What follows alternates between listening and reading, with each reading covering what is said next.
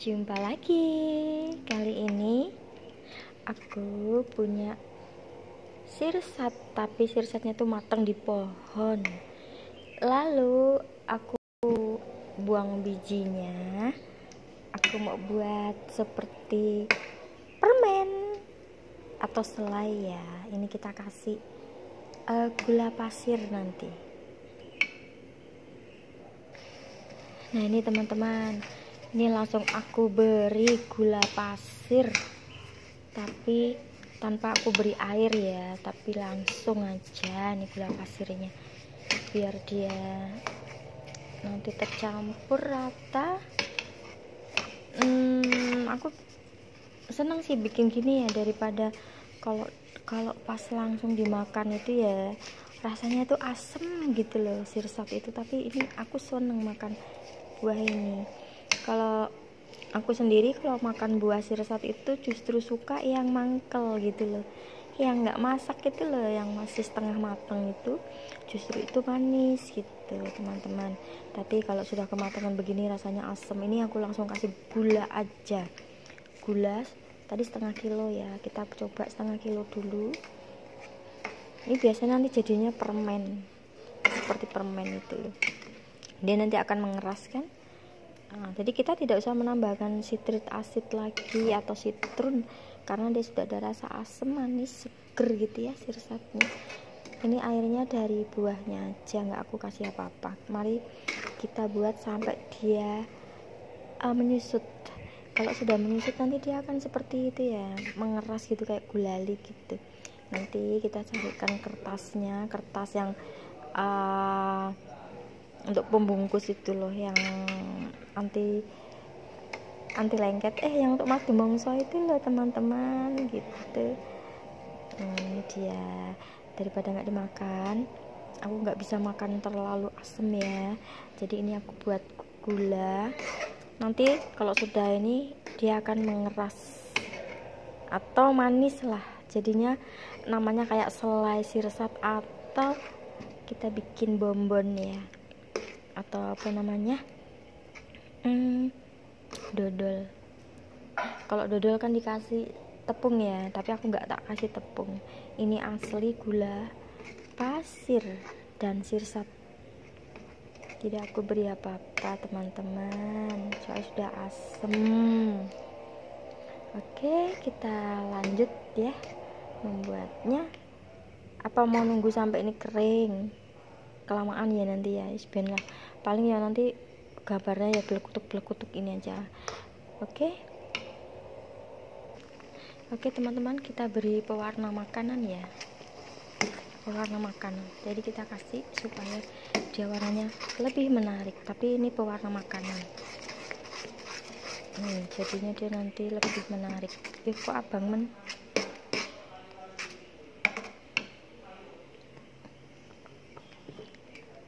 Ini karena gula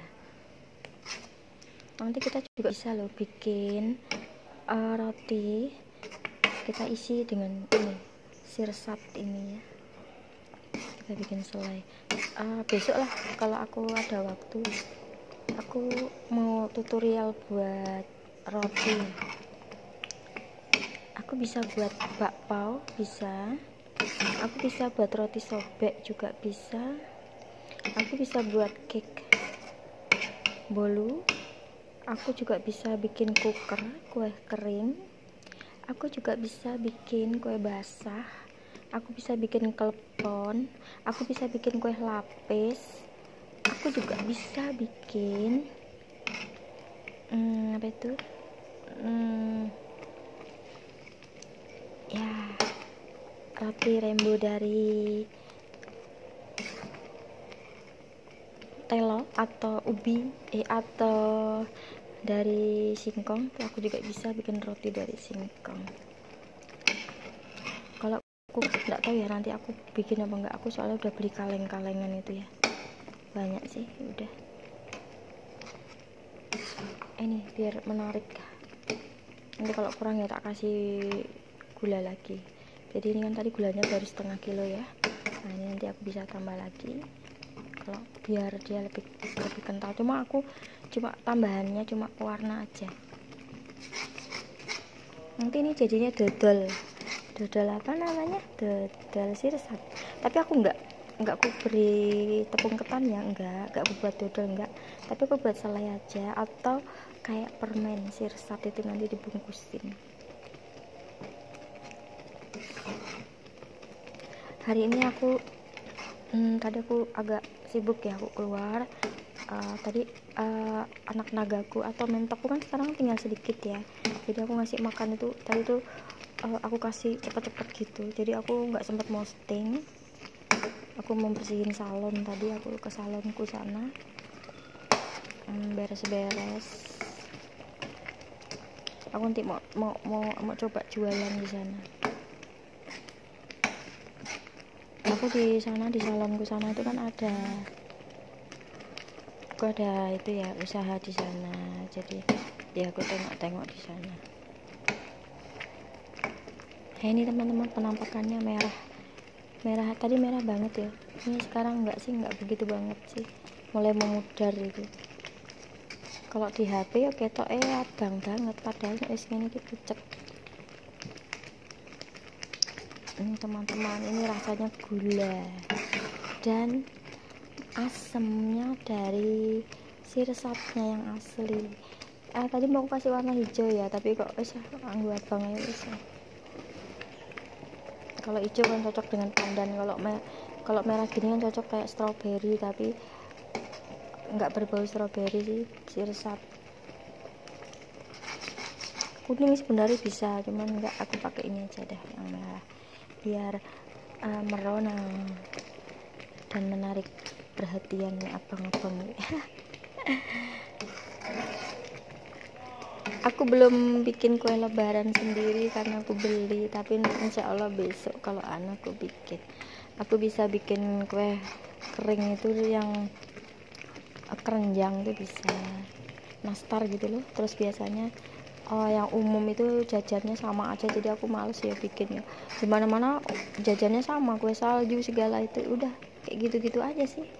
Jajan lebaran tuh di pasar itu penuh begitu-begitu juga. Jadi uh, rata-rata jajannya sama.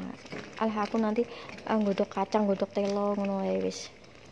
Godok uh, jagung apa godok hmm, apa ya pisang. Ala-ala memang orang desa. Kita ulet-ulet iki tak ulet-ulet tak ulet-ulet iki. Iki mau anis lebih asli. Tapi aku sedang berpuasa ya. Insya Allah tunai kita berpuasa jangan sakit. Oke kita lanjut ya. Ini wajannya legend ini. Sebenarnya ini wajannya harusnya hitam semua. Terus ngelontok ya itu teflon ini seperti ini. Hmm, ini namanya apa teman-teman kalau di tempat lain? Sirsat dikasih gula. Nanti kalau dikasih gula lagi ya mencair lagi. Biarlah nanti dijadikan selai saja. Kalau sebenarnya kalau mau di blender bisa. Cuman aku males males blender enak gini aja. Nanti kalau makan tuh ada sensasinya. Gigit-gigit gitu loh. Jadi pas lagi gigit itu bukan cuma lembeknya aja ini tapi ada yang dicopot-copot gini nah, ada serat-seratnya gitu loh. Ya enggak sih? Jenengnya apa iki? Jenang? Jenang sirsat apa apa? Aku aku sih kalau dahulu kalau ngomong ini permen. Permen sirsat soalnya nanti kalau jadi ya kalau banyak gulanya mau mengeras dia sampai sampai susut gitu dia tuh seperti permen awet gitu loh. Kan dia soalnya uh, asli gula aja gula pasir aja. Nah kita diamin ya teman-teman biar selesai. Blekutuk blekutuk hmm. ini nggak tahu berapa cepetnya nih ini aku ngelanjut lagi sudah mulai susut ya teman-teman. Sirsat uh, warnanya merah. Rasanya manis-manis asam kita kalau membuat ini harus pewarna makanan yang disarankan ya. Jangan sembarangan kok keliru. Malah gaya sumbo mendong tahu nggak sumbo mendong itu? Mendong itu sing gaya kloso sumbo yang buat stiker itu loh biasanya kan kalau orang orang zaman dulu tuh kayak ibu ibu mertua dulu kan suka bikin kloso sendiri ya mendong itu kloso mendong. Nah itu pewarnanya kan yang bubuk itu. Jadi ini kalau nggak tahu malah bubuknya mendong digawe pewarna atau kayak kesumbo layangan zaman dulu kan gitu. Aku sih pernah ya pengalaman gitu ya. Aku tanya namanya juga orang tua gitu. Uh, bikin sirup apa? Ini bu ini sirup lah. Sumbanya mana? Oh ini waduh. Ya ini biarpun gulanya banyak ya tetap pahit. Itu jangan pakai sumba seperti ini nanti rasanya pahit. Ternyata bener walaupun ditambah gula lagi tetap pahit dan uh, itu tidak baik buat kesehatannya kan? Karena bukan pewarna makanan. Jadinya itu memang tidak dianjurkan. Jadi ya kita harus berkorban membuang sirup dengan kesumba mendong atau kesumba yang sobekan itu. Ntar jangan-jangan kesumba layangan.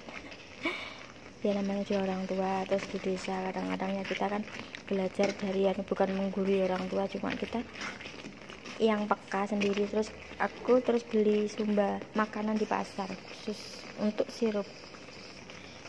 Nah cerita tentang sirup ya. Kalau di Jawa itu ngomongnya juruh. Juruh. Kilo ngombe banyu juruh gitu. kalau kalau bikin es ya itu juruh. Ini juruh dan manis ini. Cari ini juruh namanya. Oke sudah mulai menyusut kalau di Jawa itu suasana bulan puasa itu kental banget ya yaitu pasti kita bikin itu hmm, kolak janggelan ada pisangnya ada tapenya gitu ya. Tape pisang sama janggelan tuh pasti atau cincau. Itu dikai santan kasih es waduh seger banget gitu ya. Kok di Jawa gitu beli janggelan seribu wes oke okay. Sewu. Oh ya ngomong-ngomong mm, murah ya? Aku kalau di Jawa itu seneng apa-apa murah gitu ya. Aku uh, makan soto dua piring eh dua piring dua mangkok itu aja. Berdua itu cuman berapa? 12 ribu. Swear sok aku kaget. 12 ribu makan soto. Orang dua terus minumannya satu gelas kecil itu 500 rupiah kok nggak sewu ngono namanya juga masih murah ya. Uang 500 masih berlaku di Jawa. Oke teman-teman video aku akhiri sampai di sini. Tenggorokanku rasanya gatel mau ngomong. Ya udah ya. Yang penting ini udah jadi. Nanti aku mau diupload sekalian ya terima kasih atas dukungannya hmm, jangan lupa yang belum subscribe di subscribe dan nanti akan terkirim video terbaruku Terima kasih untuk semuanya. Thank you.